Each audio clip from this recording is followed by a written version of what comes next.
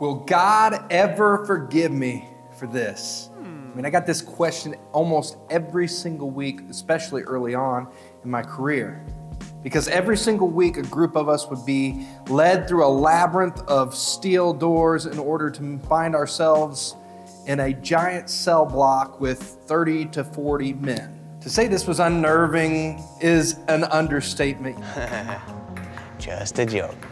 Stay calm. Um, Yet without fail, week after week, after every gospel message, we would hear it.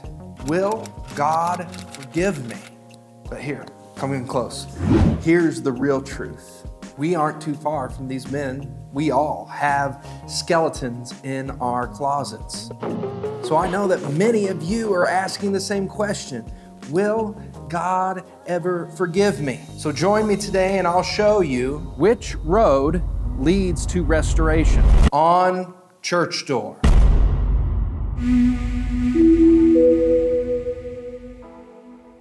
It is absolutely bonkers what 30 seconds can do to absolutely set the internet on fire. For the second year in a row, the He Gets Us campaign ran a set of controversial ads. And this year, caused quite a bit of buzz. Here is the ad they ran.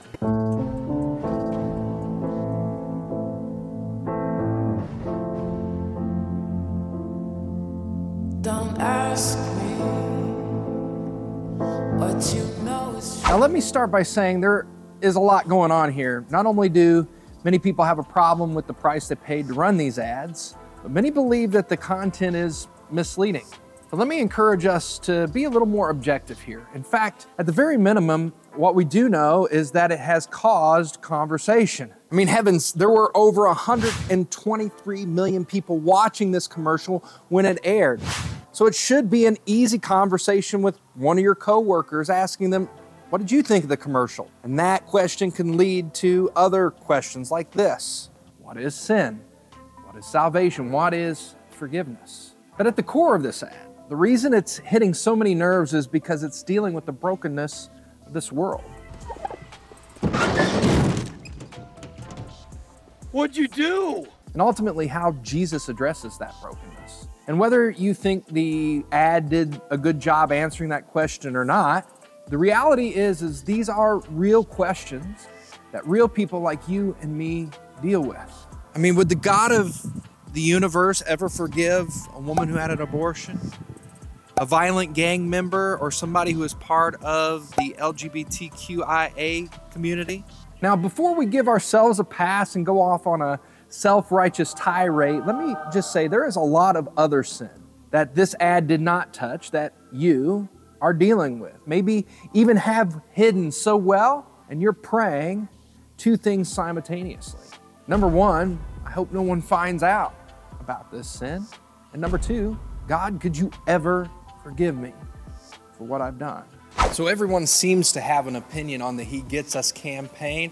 We want to know yours. Go ahead and do us a favor down in the comments. Tell us what you think about this year's Super Bowl ad. That's why I'm calling today's message Which Road Leads to Restoration? And the first road is this the road designated for refuge. In Joshua chapter 20, we see Israel, who has built their cultural structure this way. Tell the Israelites to designate the cities of refuge as I instructed through Moses, so that anyone who kills a person accidentally or unintentionally may flee there and find protection from the avenger of blood. When they flee to one of these cities, they are to stand at the entrance of the gate and state their case before the elders of the city. Then the elders are to admit the fugitive into their city and provide a place to live among them. In these verses, we see designated, intentional pathways to refuge for the one who has found himself in a bad situation. If the person who accidentally killed someone went to hide anywhere else, the truth is that eventually they would be hunted down and killed. I will look for you. I will find you. And I will kill you.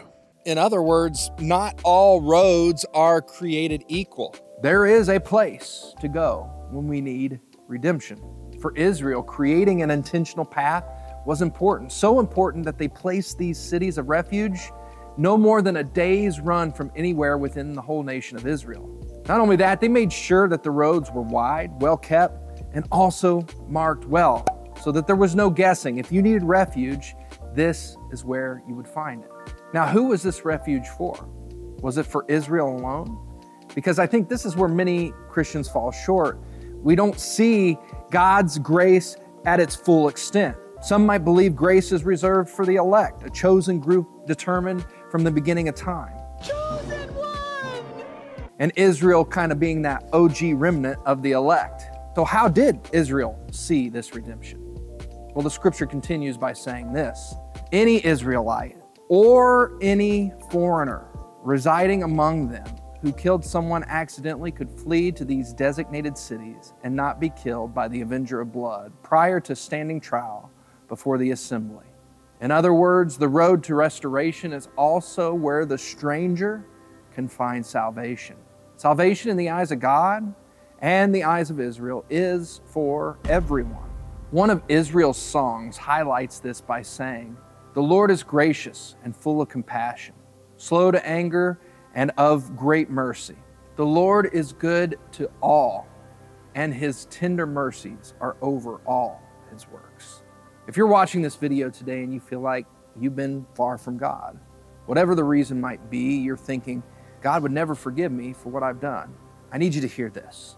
God has provided a place of refuge for anyone who might come, and that refuge is found in Jesus. Jesus says, Come to me, all of you who are weary and heavy laden, I will give you rest. If you're here today and you want to find Jesus Christ as your safe refuge, whatever wrong you might have done, we have a team of people here that want to walk with you. You can text us down in the comments or you can text prayer to the number that you see coming up on the screen.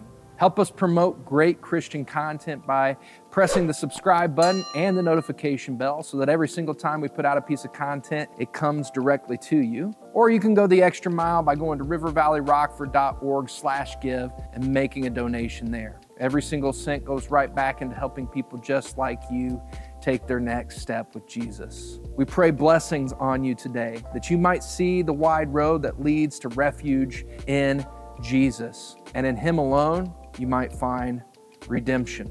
We've been doing a study in Joshua, and if you'd like to keep up with us, go ahead and hit the button right in the center of your screen to continue in our study of Joshua.